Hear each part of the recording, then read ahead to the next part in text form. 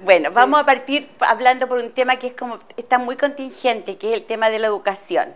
Y cuando revisaba un poco em, su currículum senador, veía que usted es, exalumno del colegio eh, Instituto Higgins en Rancagua, ¿no? Los maristas, de la formación marista.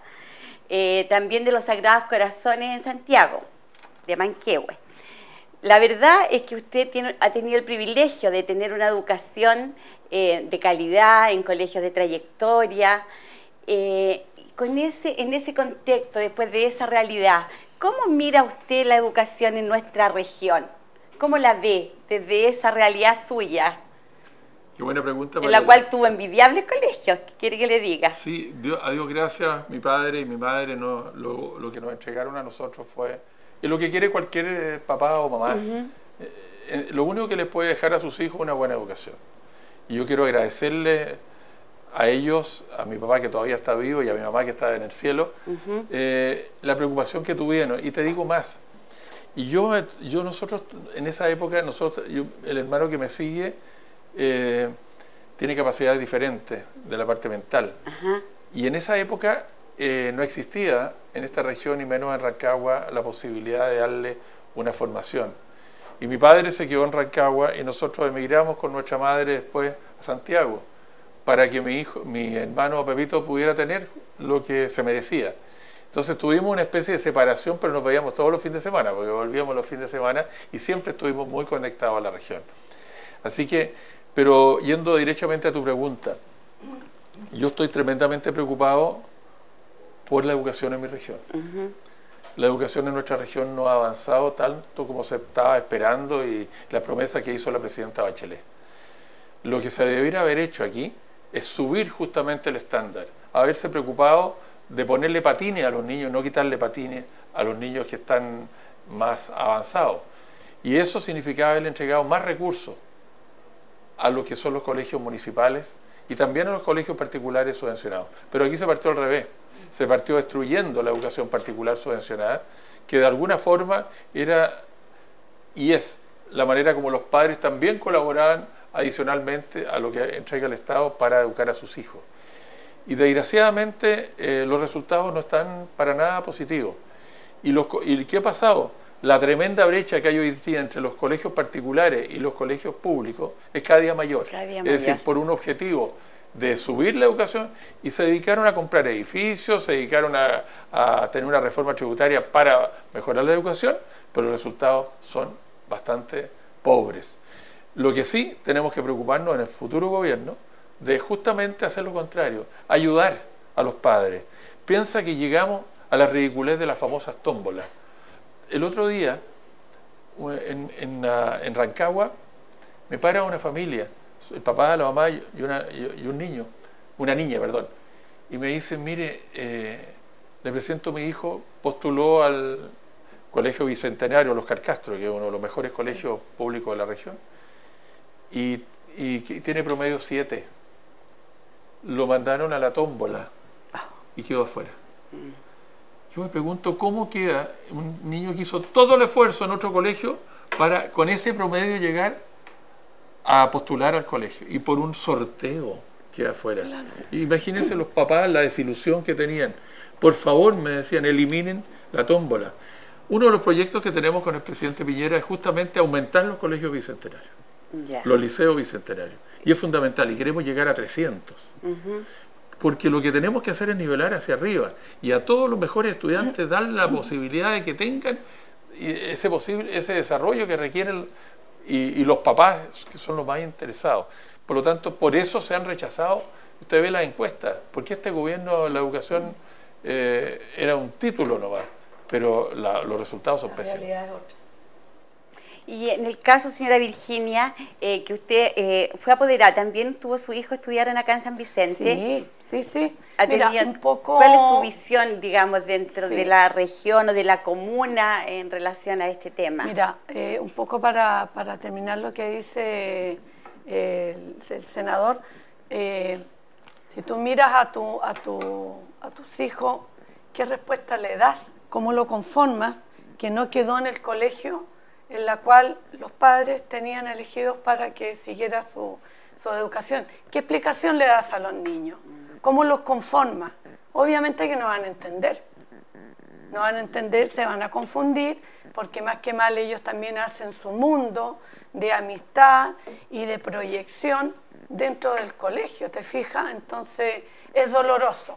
Eh, con respecto a los a la educación acá, la educación local tenemos el caso puntual usted debe estar enterada del colegio El Salvador que en este momento hay un conflicto en la cual hay personas despedidas y ahí pero eso es, un tema más bien interno ya eh, si el colegio no sé tendrá su planificación y, como colegio particular, que hoy día es una fundación, que debió a todo esto que, la, digamos, los eh, dueños de los colegios em, no hallaban, no, no, no, encontraban cómo adecuar el, futuro, el futuro camino de los colegios. Eso no fue fácil y tú lo, lo sabes, de que cada uno eh, no fue fácil encontrar eh, cómo se iba a llevar, ¿no es cierto?, el, colegio, cómo iba a seguir funcionando, porque al final terminaron todos confundidos, todo. Y hoy día el Colegio de Salvador es una fundación. Y una fundación, eh, en realidad, son muchas personas que se integran para poder eh, trabajar por la educación. Y eso es el Colegio Salvador. Ellos tienen que tener una planificación como fundación y, bueno, querrán buscar algún sistema especial y ellos eh, lo llevaron por, eh, por la planificación al final para que el colegio pueda seguir existiendo, que no tiene que haber sido fácil, no tiene que haber sido fácil. Pero todas estas cosas pasaron, ¿por qué? Justamente lo que dice el senador, que fue una proyección a nivel de gobierno que no fue la mejor.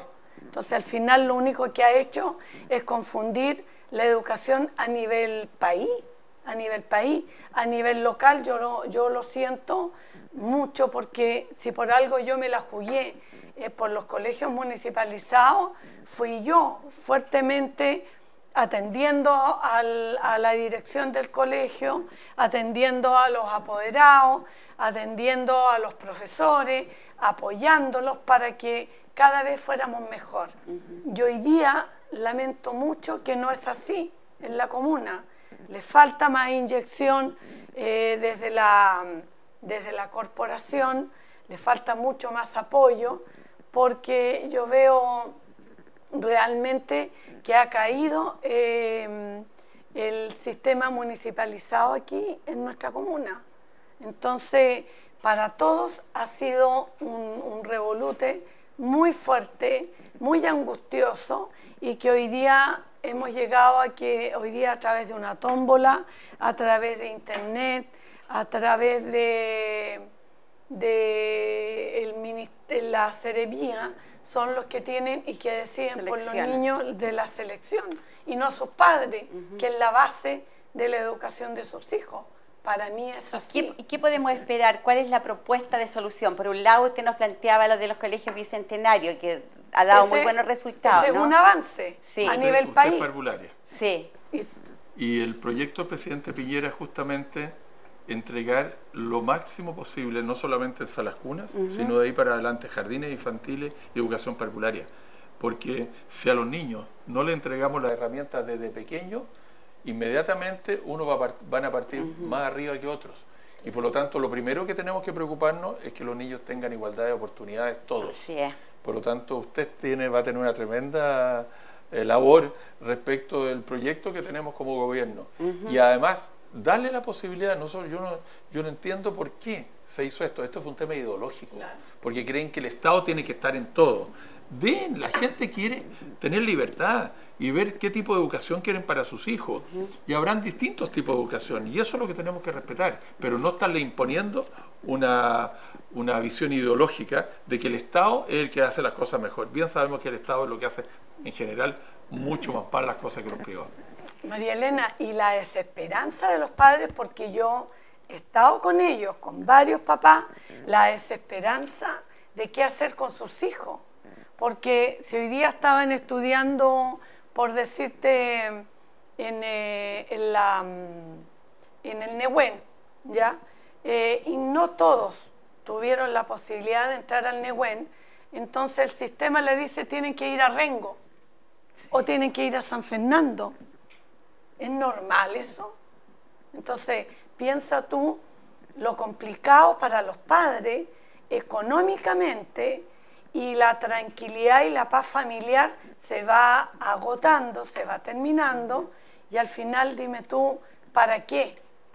¿Cuál era, no sé, el trasfondo? Porque el Estado quiere eh, administrar todo. Imposible, imposible. Yo creo que aquí más que nada es un daño psicológico, un daño fuerte para los niños, sobre todo, eh, que, eso va a costar mucho de poder volver a la normalidad. Menos mal que eh, el, presidente Piñera tiene muy clara esta situación, él va a dejar que los padres vuelvan a su normalidad de ubicar y de elegir dónde quiere que estudie su hijo. Pues eso es lo normal, eso es lo normal.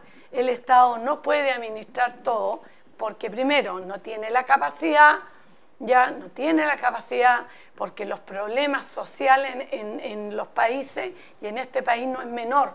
Entonces hay muchas cosas más importantes que administrar, que meterse en la vida de una familia, de los padres. Entonces, miren lo que quedamos, un desorden que nadie explica, porque lo peor de todo, que el Estado tampoco, el gobierno tampoco, explica nada.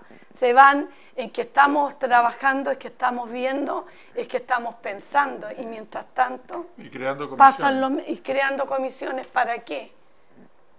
Para muchas cosas más que, que más gasto que servicio al país, mucho más.